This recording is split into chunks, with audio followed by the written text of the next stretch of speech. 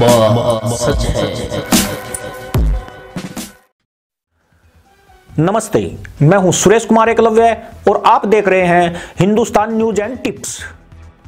October 2019 में जब संयुक्त राष्ट्र महासभा में पाकिस्तान की स्थायी प्रतिनिधि, भारत कूटनीति के सामने असफल साबित हुई तो इमरान ने उनकी छुट्टी करके उनकी जगह मुनीर अक्रम को यह पद दिया था। उस वक्त इमरान को लगा था, मुनीर अकरम जैसा अनुभवी मदरसा छाप।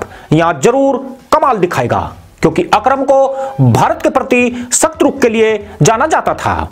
इससे पहले भी वह इस पद पर वर्ष 2002 से वर्ष 2008 के बीच रह चुके थे। इसलिए पाकिस्तान द्वारा उनकी इस नियुक्ति पर खूब गदैया नृत्य किया गया। यानी यह दिखाने की कोशिश हुई कि पाकिस्तान ने अपना तुरुप का पत्ता आगे कर दिया है।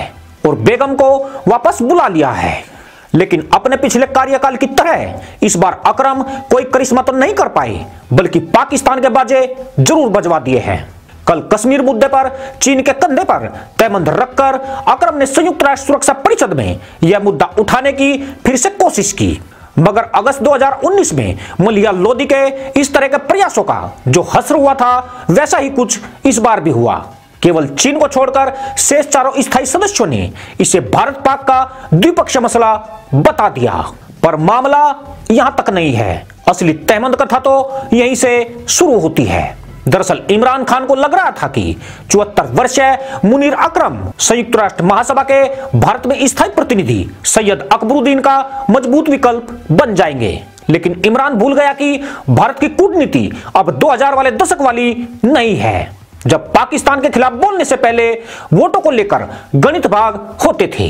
इधर तो हर कोई पाकिस्तान को ठोकने और मिटाने के लिए तैयार बैठा है। यह भारतीय कूटनीति का ही कमाल है कि अब मुनीर अक्रम को अपने तहमंद बचाने मुश्किल हो रहे हैं। भारत ने यूएन में भी अक्रम की इतनी ज़बरदस्त घेराबंदी कर दी है, जिसके बाद यूएन की तो छोड़िए, अंतरराष्ट्रीय मीडिया तक उन्हें कोई भाव नहीं दे रही है। वर्ष 1990 के दशक में भारत अंदरूनी राजनीति में उलझा हुआ था। अपने बलबूते सरकारों के ना होने से भारत विश्व पटल पर कश्मीर मसले का बचाव दमदार तरीके से नहीं कर पाता था। यह वह समय था जब पाकिस्तान विश्व पटल पर भारत के खिलाफ दुष्प्रचार के मामले में भारी पड़ता था। उस दौरान मुनीर अकरम पाकिस्तानी प्रोपेगेंडा की अहम कड़ी हुआ करते थे। वह भारत के खिलाफ दुष्प्रचार के माहिर भी थे। उन्होंने तब भारत की अंदरूनी कलह का फ़ायदा उठाते हुए विश्व समुदाय को पाकिस्तान के पक्ष में लामबंद करने में सफलता पाई थी। लेकिन इस वक्त पाकिस्तान मोदी के जाल में फंसा पड़ा है। मौजूदा समय में पाकिस्तान पूरी दुनिया में अलग थलग पड़ चुका है। ऐसे में इमरान को ख्वाब आया था कि मुनीर अकरम भारत के खिलाफ उसका अहम प्रोपेगेंडा टूल होंगे। लेकिन मदरसे में पढ़ाए गए सारे झूठ भी मुनीर की लाज नहीं बचा सके। हालत यह है कि मुनीर यूएन में दम्मे का पेशेंट बनकर बस सीट पर बैठे लंबी लंबी साँसें खींचते रहते हैं। कल जिस प्रकार यूएन में पाकिस्तान की फजियत हुई और पाक के कश्मीर प्रोगेंडो को जूते पड़े, उसके बाद सैन्य प्रमुख कमर जावेद बाजवा और इमरान लोंडे ने मुनीर अक्रम के विकल्प के रूप में तलाश शुरू कर दी है। कहा जाता है कि इमरान सरकार मुनीर अकरम को भी वापस बुलाने पर विचार कर रही है। संभवतः इमरान उनकी बढ़ती उम्र और गिरते स्वास्थ्य का हवाला देकर उन्हें पद छोड़ने को कह सकते हैं। जबकि हकीकत यह है कि पिछले चार महीनों में अकरम अभी तक कोई कमाल नहीं दिखा सके हैं। इस वक्त यूएन में उनके दौर के वे प्रतिनिधि भी नहीं हैं, जिनसे उनके निजी संबंध भी मज़बूत हुआ करते थे। यहाँ फ़िलहाल भारत की कूटनीति का बोलबाला है। भारत द्वारा संयुक्त राष्ट्र को उपलब्ध कराए गए सौर पैनल और यहाँ होने वाली सभाओं में भारतीय लोकतंत्र का गुणगान ज़्यादा है।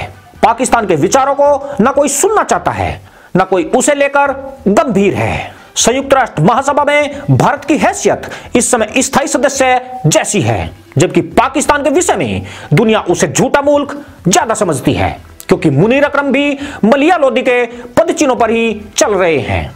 वैसे भी पूर्व में उनकी प्रेमिका को लेकर अमेरिका में जो आरोप उन पर लगे थे, वह छवि भी उनका पीछा नहीं छोड़ रही है।